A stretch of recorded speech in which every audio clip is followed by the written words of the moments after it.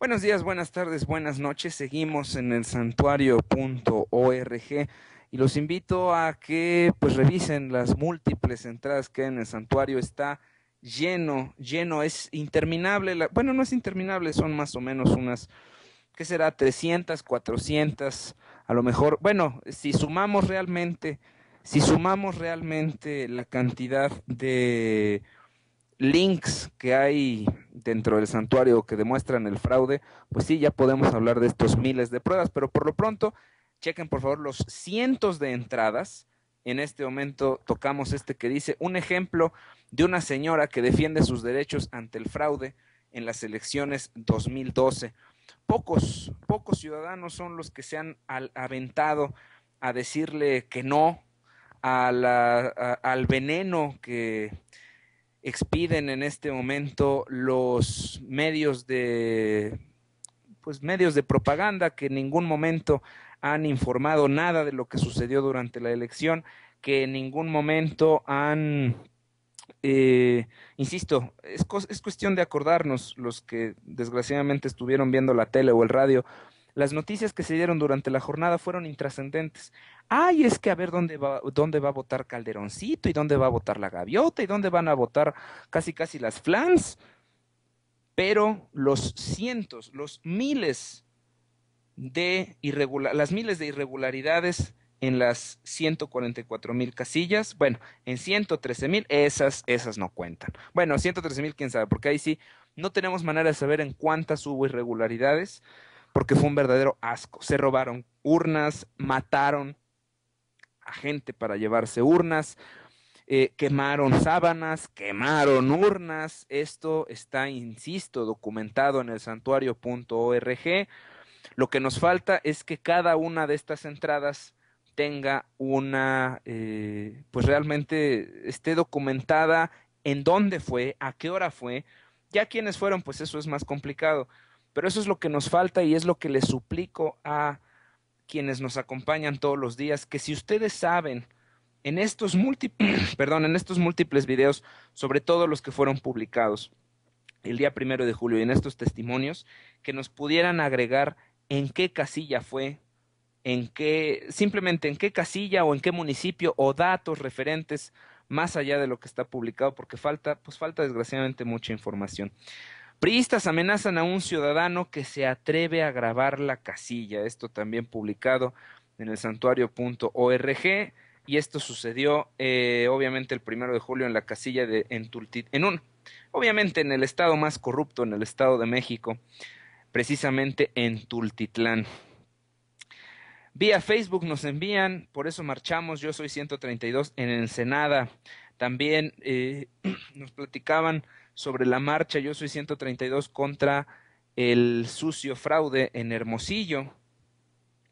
Pide Ricardo Monreal que no que los seguidores de López Obrador no lo dejen solo en su lucha. Básicamente es muy claro. Es decir que más allá del dejar a López Obrador, ahorita es que no debemos dejar la defensa del voto. Ir mucho más allá de lo que dijo el señor Monreal. Claro que los que votaron o votamos por López Obrador, pues estamos totalmente apoyando todas sus decisiones de defender el voto y, e insisto, nosotros lo hacemos no por López Obrador, más allá, obviamente que saldría él evidentemente favorecido defendiendo el voto, pero lo hacemos por defender la opinión de los mexicanos, la voluntad mexicana que fue total y completamente aplastada en esta narcoelección, porque no se puede llamar de otra manera una campaña financiada por el narco, una campaña financiada por los narcogobernadores, por toda la suciedad que está alrededor del PRI y que además reflejada en la prueba más cruel que es el PREP, todo salió mal. La gran mayoría de las casillas tienen anomalías, eh, bueno, comprobables, porque hay muchísimas que seguramente tienen anomalías que no son comprobables, en donde el carrusel no fue tan grande, en donde el mapacheo no fue tan grande. Bueno, pues en estos lugares no hay ni manera de saberlo. El caso es que lo que sí podemos saber es que no hubo ninguna elección el primero de julio. hubo una imposición y nos escupieron a todos nuestra voluntad. Durante su participación en el noticiero de Carmen Aristegui, el ex gobernador de Zacatecas expresó que la lucha de López Obrador es por la patria, por el bienestar del país, no lo dejemos solo. Ricardo Monreal, coordinador de la campaña presidencial de López Obrador, pidió a quienes votaron por este candidato eh, no abandonarlo en la lucha por la patria. Durante su participación en el noticiero con Carmen Aristegui, eh, eso ya está repetido, pero bueno, Monreal adelantó que cuenta con las pruebas de que se utilizaron 160 millones de pesos para el prepago de tarjetas para comprar votos tan solo en Monex, que rebasan por mucho el financiamiento privado de cualquier partido. Me parece que el financiamiento privado se queda como en 30 millones, no me acuerdo algo así, pero pues obviamente que lo viola. Esto también lo apoya el PAN, no nada más lo dice el PRD. Está la factura original de Monex que ampara 30 millones, la que veíamos, la, de la que hablábamos hace rato. No hay delito perfecto, siempre se deja huella. Son dos empresas que generan esto. El grupo, comercial Inicio y el grupo comercial EPFRA, y son 168 millones de pesos. Por eso la compra de votos es inmoral y estamos luchando por limpiar la elección. ¿Cómo se limpia la elección? Una manera, sin necesariamente impugnar, es que se le retiren millones y millones y millones de votos a Peña Nieto por haberlos comprado. Policías de, bueno, policías del Estado de México impiden acceso a cómputo. Así de cerdos, un derecho constitucional que por supuesto en el Estado de México la Constitución es una mera pues un magicuento, un bonito papel de baño, estos cerdos del Estado de México no permitieron el acceso a ciudadanos al cómputo distrital. ¿Por qué? Porque junto con el Estado de Veracruz es en donde más incongruencias existen. Asqueroso, asqueroso. Continúa mientras en Acción Nacional el proceso de expulsión de Fox. Es que no es nada más expulsarlo, es hacerle juicio político. Y no nada más por haber traicionado a Acción Nacional y a la democracia mexicana, por todos sus rateríos. Es que el PAN se está quedando muy corto. Ahorita el PAN, el PAN verdadero, es el que tiene que despertar, darle en su madre a Peña Nieto por la vía legal, por todas las cerdeces que realizó, y mandar a la cárcel a Fox. Desaforarlo. Señala el pedazo de caca llamado Leonardo Valdés Urita, también conocido como el consejero presidente del IFE, el servidor número uno del PRI, que hay agresiones en su contra. Ay, pobrecito. Esta mañana me reconocieron, hubo algunos gritos, algunos golpes al vehículo en el que me transportaba, pero nada trascendente, dijo el narco consejero del IFE. El secretario ejecutivo Edmundo Jacobo Molina informó con toda seguridad se abrirán para su recuento 78 mil paquetes electorales para la elección, esto publicado obviamente más temprano, para la elección de presidente de la República.